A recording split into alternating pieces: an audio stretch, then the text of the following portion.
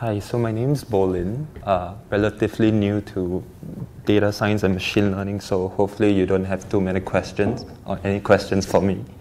I'm here to talk about generative adversarial networks, GANs for short.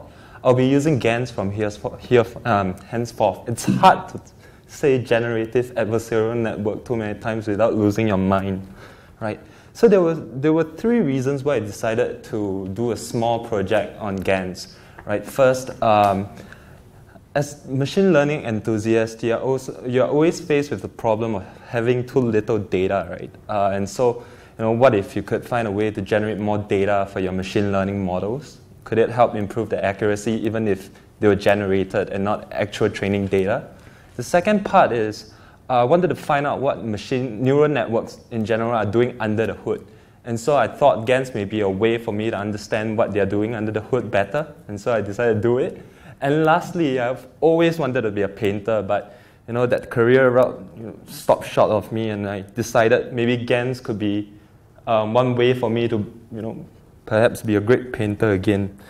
So GANs are actually a system of two, two neural networks, one called the discriminator and one called the generator. I took this off uh, some image. You can just Google search it. It's one of the images up there. And basically, the two networks are fighting against each other in a zero-sum game framework. So it's adversarial, basically. The discriminator network aims to discriminate generated images coming out from the generator network and actual training data. So its goal is actually quite simple. Is this a generated image or not?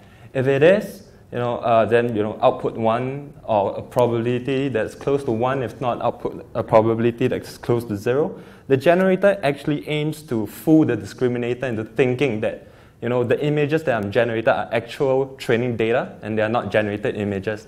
So uh, as a way of analogy, you can think about it in the form of uh, someone who's counterfeiting money and the police, right? So the police is trying to catch counterfeiters, but the counterfeiters are getting better at counterfeiting money over time. But the police are also getting better at uh, catching them over time. And after a while, the rate at which they improve kind of um, increases at the same rate, and therefore there's no improvement, relative improvement in terms of the performance so uh, I'll skip a lot of the code since I have five minutes and it's pretty, uh, I wouldn't say boring, but it's pretty dry for a five minute talk.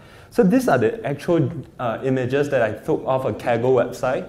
Uh, it's by, I forgot the name, uh, yeah, so it's, it's a series of paintings, uh, images of paintings. So you can see the actual images here, and this is what happens after I transform them to a range of between minus 1 and 1, right? So yeah, this looks terrible. I don't know what's doing.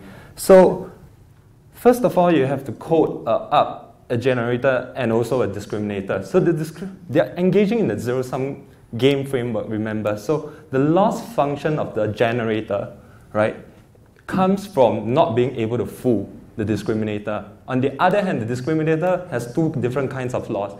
One, thinking that the generated images are true, and two, from the training images, thinking that it's false. So that, using that uh, idea, you can come up with the loss function, right? I don't really want to. So this was trained under TensorFlow. I had only 3,000 images to work with because, you know, as a MacBook Air, I couldn't take too much you know, images. It's quite sad. But over time, uh, I just wanted to show you how over time, the generator learns to generate images that resemble, I won't say exactly art images, but it, it starts to learn on its own using the loss function that is being fed back to the network. Right, so as a start, I sampled from random uniform noise between minus 1 and 1, and so this is the output, and over time, you can see it being improving. I trained this during 3 a.m. actually. It's quite scary to be honest. You shouldn't ever train it in the night. Uh, but you can see some resemblance of quote unquote art images in terms of faces, in terms of the sky, and things like that. Yeah. So the two conclusions that I got from this, the first one is um, the generator network, even without a lot of images, can generate images that close uh, to the training data, right? So I won't say I can sell them to the Louvre, definitely. The Louvre wouldn't accept this, but you can see that uh, it's possible to use them as training data. And the second conclusion that I got is painting is really quite difficult. I, I, I can't even paint like this, so yeah, that's my two conclusions. And I end my presentation. Thank you.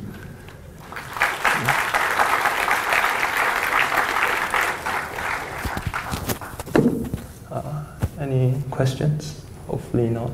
Oh, there's one question. Two questions. Did you have fun?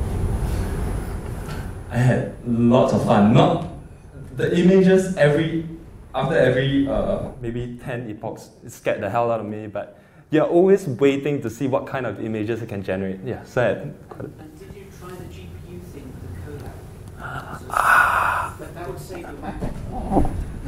Yes, yes, I didn't because I didn't know about the resource. But from now on, you know, if I have any computational intensive things to do, I'll do it on the Colab. And another thing for the Colab is that if you have a, a notebook on GitHub, you can load it straight in. So you, just have to like prepend the Colab thing on the front, and anything in GitHub you can run on a, on a GPU immediately. Any other questions? Oh, uh, right. Plants are very good, uh, very, very sharp image. So if you- if the data is very less, that's really the reason. You can get much better images. Exactly. Yeah, so GANs are perfect. If you like They're not, the they're not perfect, but you can get much sharper images. That's actually the uh, biggest pro of uh, right, image much sharper. Do that. can generate new selfies. Thank you.